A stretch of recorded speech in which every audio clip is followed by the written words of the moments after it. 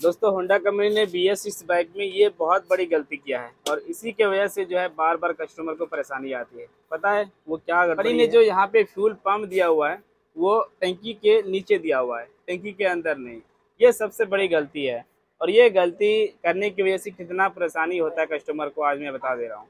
देखिए, इस बाइक को मैं स्टार्ट करना चाहता हूँ, तभी ये स्टार्ट नहीं होता है। और स्टार्ट क्यों नहीं हो रहा है, वो आपको बता दे रहे हैं, ठीक है? ये देखिए, यहाँ पे हमने स्विच को चाबी को ऑन किया। बैटरी फुल चार्ज है। देखिए बाइक को स्टार्ट करूँगा। यहाँ पे ये बटन जो आप देख रहे हैं, ये बटन हमें दबाना है। ये देखिए, ये रेस नहीं ले पा रहा है। बाइक स्टार्ट करने के लिए करता है, लेकिन रेस नहीं लेता ये देखिए। बाइक स्टार्ट हो रहा है। मैं आपको इंजन के के पास माइक रख के दिखाता हूँ।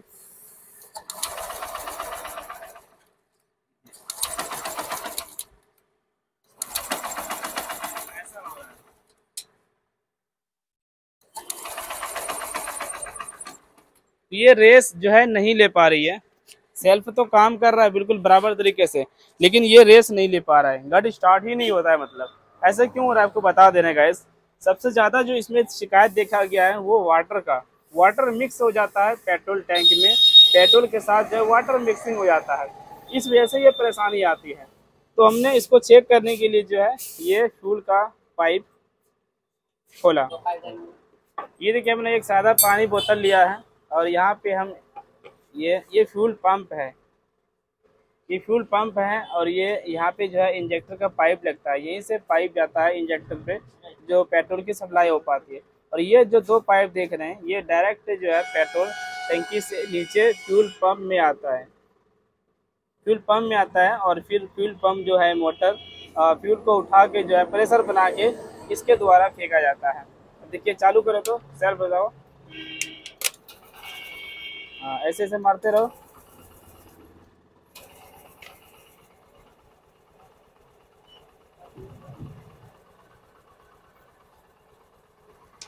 दिखेगा यहाँ पे जो है, छोड़ दो तो यहाँ पे आप लोगों ने देख लिया, ऊपर हल्का पेट्रोल है और नीचे पानी है।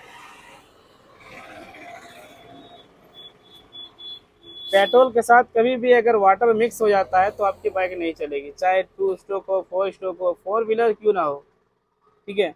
चाहे थ्री व्हीलर हो। कोई भी बाइक हो, कोई भी वाहन हो, उसमें अगर पानी वाटर मिक्स हो जाता है, पेट्रोल या डीजल के साथ तो आपकी बाइक जो है वाहन स्टार्ट नहीं हो पाएगी। ठीक है? तो इसमें जो है, शिकायत क्या आपको बता दे रहे हैं? कंपनी जो सबसे बड़ी गलती क्या है कि ये डायरेक्ट दो पाइप लगा दिया है इसके अंदर, और फिर ये जो पेट्रोल है डायरेक्ट इसमें फ्यूल पम्प में आएगा, और फ्यूल पम्प के द्वारा जो है पेट्रोल उठा के ऊपर देगा। अब यहाँ पे मिस्टेक क्या होता है कस्टमर से आपको बता दे रहे हैं? देखिए तो यहाँ पे कभी कभी क्या होता है कि लॉग जो है ये अच्छे से बैठ भी नहीं पाता है अच्छे से और हम जब बाइक को वॉश करते हैं तो इसके अंदर से पानी लीक होके डायरेक्ट टंकी में चला जाता है। ये पानी जो है ये लीक कर देता है वाटर और टंकी में चला जाता है और वही वाटर जो है फिर वापस पेट्रोल के साथ जब मिक्स हो जाएगा तो हमारी बाइक नहीं चल पाएगी। या फिर कभी कभी क्या होता है कि इसका सुराग बंद हो गया वो वाला और आपने इसे खोला इसे खोला, ये सुराख बंद है तो यहाँ पे जो वाटर होगा, वो डायरेक्ट इसके अंदर चला जाएगा। ऐसा भी कभी कभी होता है। तो इसमें क्या हुआ? वाटर मिक्स हो गया है। तो ये वाटर मिक्स सिर्फ़ इसी बाइक में नहीं, हालाँकि वाटर जो है, बहुत सारे बाइक्स में मिक्स हो सकता है। पेट्रोल के साथ जो वाटर मिक्स हो सकता है। लेकिन उसमें ज़्यादातर दिक्कत नहीं अदर कंपनी की बाइक में ज़्यादातर दिक्कत इसलिए नहीं होता है कि उसका जो फ्यूल पंप है, वो डायरेक्ट होता है टंकी में। और टंकी में जो डायरेक्ट होगा, इसमें इतना जगह छोड़ के दिया जाता है कंपनी इस तरीके से मैन और रिज़र्व का ऑप्शन देखते थे आप लोग मैन में जब हम चलाते हैं तो उसमें जो पानी या फिर जो गंदगी होगा, ये नीचे ही रहेगा और मेन का जो पेट्रोल है, ये ऊपर से हमारा सप्लाई होता था। उसी तरीके से बहुत सारे कंपनी हीरो और टीवीएस को छोड़कर टोटल ये का फ्यूल पम्प जो देते हैं, ये रिज़र्व को छोड़कर मेन में देते हैं, जो कि यहाँ पे जो है पानी वगैरह या कचरा वगैरह जो भी होगा, वो नीचे पड़ा रहेगा और वो वाटर या फिर कचरा जो है डायरेक्ट फ्यूल पंप में ना जा सके और वो जो है इंजेक्टर तक ना पहुँच सके गंदगी। और ये दिक्कत ना हो। तो कंपनी ने जो डायरेक्ट दे दिया है ना तो इसमें जो भी पानी पहुँचता है तो वो पानी और पेट्रोल जो है डायरेक्ट होके पंप में आ जाता है और यही पानी जो है फिर इंजेक्टर तक पहुँचा देता है, जो कि पेट्रोल सप्लाई नहीं कर पाती है। इसमें यही दिक्कत है गाई तो इसमें कुछ ना कुछ कंपनी को बदल, बदलना चाहिए, इसमें सुधार करना चाहिए। हालाँकि होंडा कंपनी कहते हैं कि भाई, अगर हमारी बाइक में अगर आधा लीटर पेट्रोल भी डाल दोगे तो बिल्कुल आप बाइक को चला सकते हैं। वही अगर आधा लीटर के साथ अगर एक पाप पानी चला जाए तो फिर बाइक को नहीं चला पाओगे। और अदर कंपनी पे क्या होता है कि एक लीटर या फिर आधा लीटर तक जो है एक्स्ट्रा पेट्रोल रखना पड़ता है। इसलिए कि उसमें जो है ये समझो कि रिज़र्व का ऑप्शन दिया गया है और इसमें रिज़र्व का कोई ऑप्शन नहीं है। तो अब हमें काम क्या करना है आपको बता दे रहे हैं। इसका टंकी खोलना है, इसका सारा पेट्रोल और पानी जो है वो निकालना है। इसका जो फ्यूल पंप है वो हमें खोल के साफ़ करना है।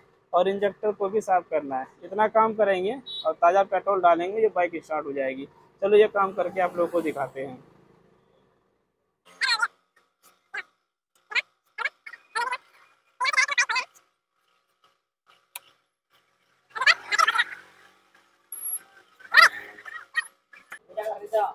देखिए हमने ये जो है फ्यूल पंप इसका बाहर निकाल दिया। ये फ्यूल पम्प मोटर है। और ये देखिए मैं इसको ऐसे झाड़ूँगा। तो पानी पानी निकलेगा। ये देखिए। बिल्कुल ताज़ा पानी है ये। थोड़ा। इसको यहाँ से हम खोल के साफ़ करेंगे।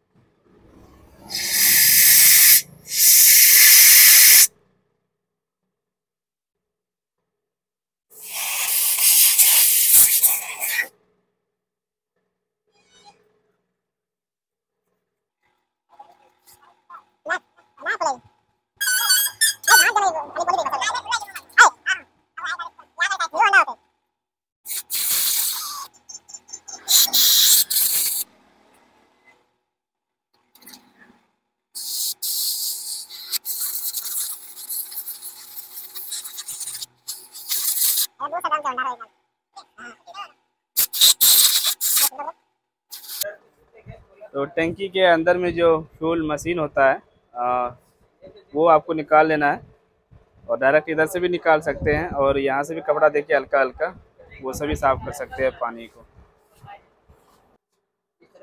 और फ्यूल पंप साफ़ करने के बाद जो है यहाँ पे ये फ्यूल इंजेक्टर होता है ये पाइप जो है ये इंजेक्टर में लगा हुआ है। इस इंजेक्टर को खोल के एक बार साफ़ कर लें।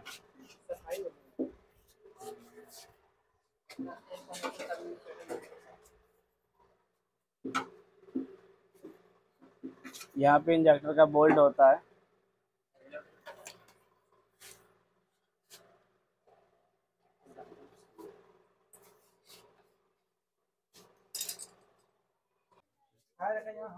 ये इंजेक्टर है, देखिए।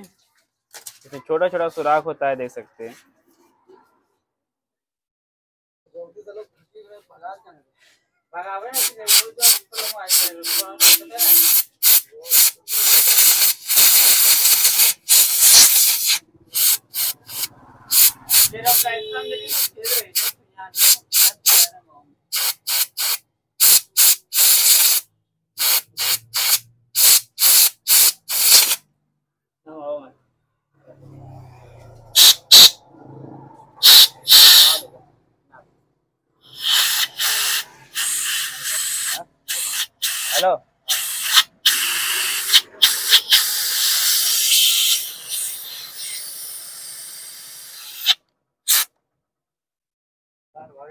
लेवनस मारता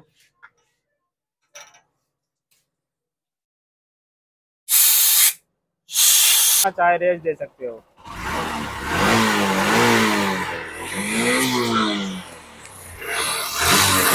तो